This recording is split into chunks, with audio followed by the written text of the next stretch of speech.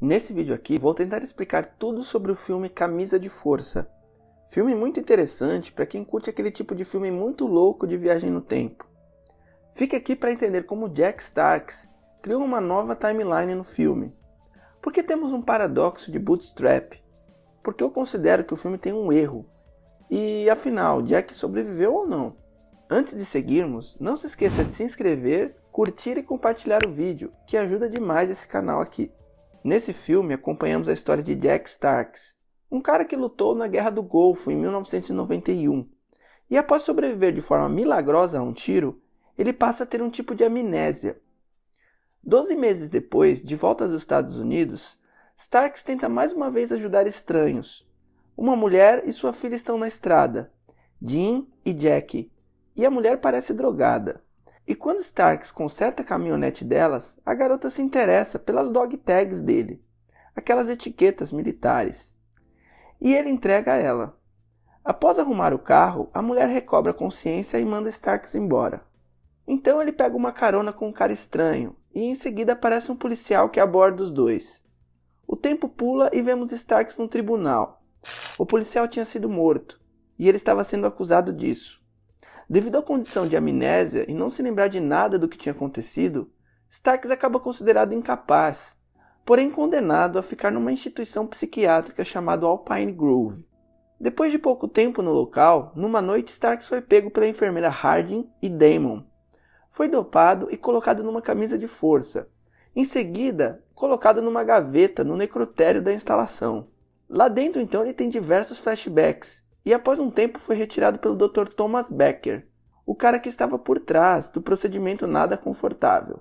No dia seguinte, Starks conhece Rudy Mackenzie, um cara que estava lá por tentar matar a mulher 30 vezes, segundo ele. Mais pra frente, vamos descobrir que ele pirou porque foi abandonado pela esposa mesmo.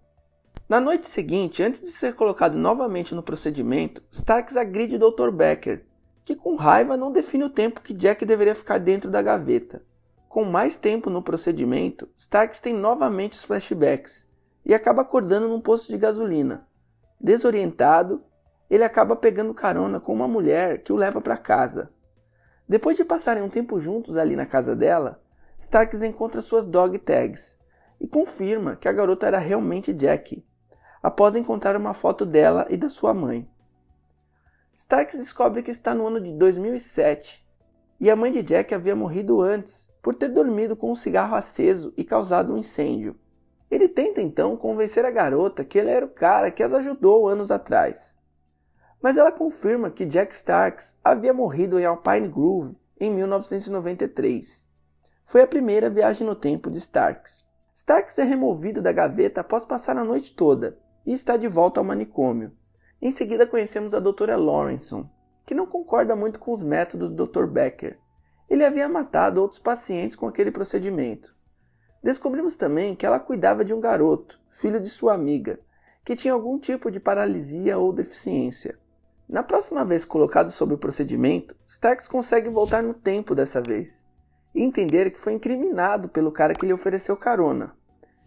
O cara matou o policial e, na troca de tiros, Starks acabou ferido e desmaiou, e o criminoso deixou a arma com ele, completando a cena do crime falsa. Depois de descobrir a verdade sobre o crime, Starks volta a 2007. Lá ele precisa descobrir como morreu em 1993, de forma a tentar evitar sua própria morte. Jack parece engajado em ajudar o cara e o leva ao Pine Grove para ver se descobrem algo. Lá, fingindo ser um sobrinho de Starks, ele descobre que havia morrido de um trauma na cabeça, mas nada mais que isso. Em seguida, encontra a doutora Lawrenson, que relembra que Jack havia ajudado a curar o garoto que ela cuidava. Ela não passou mais informações, embora tivesse estampado na cara dela que ela sabia de alguma coisa. Depois vemos que Damon agora é um paciente no hospital.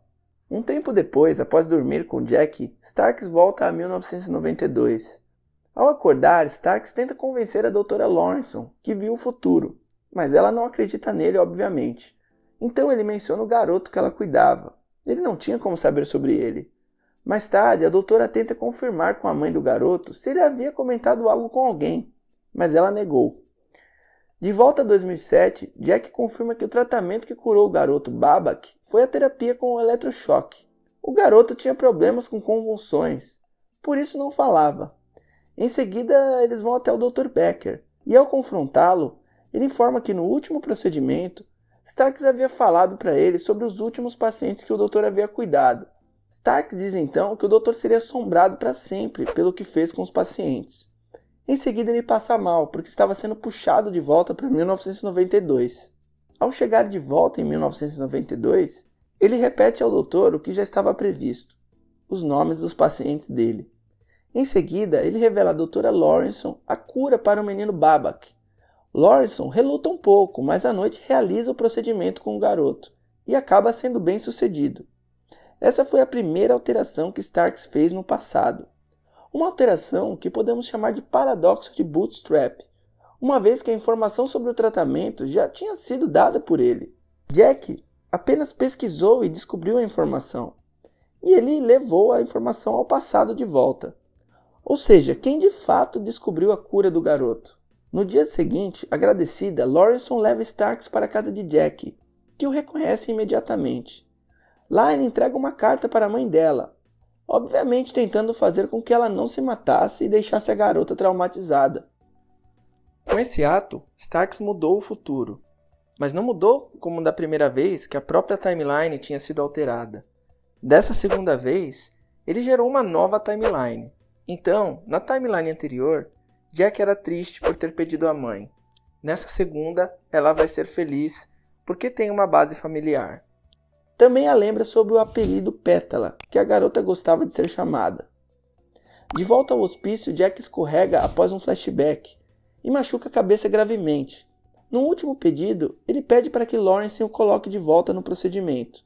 Em 2007, novamente, Starks vê Jack saindo da cafeteria, mas dessa vez ela estava com um uniforme de enfermeira por baixo, ou seja, não era mais uma garçonete. O carro também tinha mudado, Aqui já percebemos que algo havia sido alterado no futuro. Em seguida, no carro, Jack recebe uma ligação da mãe e tudo se confirma. Starks estava feliz porque mudou o futuro de Jack. Surge então uma voz dela perguntando quanto tempo eles tinham ainda e o filme acaba. O final aqui parece feliz, porque Starks conseguiu mudar o futuro de Jack. Ela ainda tinha a mãe e tinha uma vida muito mais estável e melhor que anteriormente. Mas não vamos esquecer que a outra timeline triste precisa existir ainda para que essa nova timeline exista. Então temos uma timeline feliz para Jack e outra triste. A segunda alteração no passado, realizada por Starks, criou uma segunda timeline. Starks interferiu duas vezes no passado, mas o filme contradiz a própria mecânica aqui. Podemos perceber que a primeira alteração, o envio da informação de cura do garoto para a Doutora Lawrenson, alterou a própria timeline. Ou seja, no futuro sombrio de Jack, o garoto babaca estava curado. Ou seja, a intervenção de Starks fazia parte do ciclo temporal.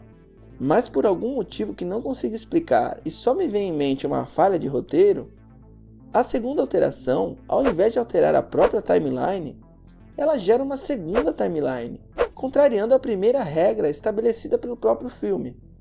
Você concorda com isso? Se tem alguma outra teoria, comenta aí embaixo. E o Jack Starks morreu? Eu acredito que sim. O Jack de 1993 acaba morrendo nas duas timelines, escorregando e batendo a cabeça no chão. A dúvida que fica é: a projeção dele na nova timeline era temporária ou não? Eu acredito que sim. Ele só viveu ali por um tempo, enquanto estava vivo dentro da gaveta. Foi o tempo suficiente para ver que tinha conseguido mudar o futuro de Jack. Ah, e por que aquele procedimento fazia Jack viajar no tempo? Bom, no filme não é explicado, mas tudo indica que aquela substância que o Dr. Becker inventou fazia isso. Mas esse é o meu entendimento do filme. Me conta aí o seu. Comenta aí embaixo que eu quero muito saber. Um abraço e até mais.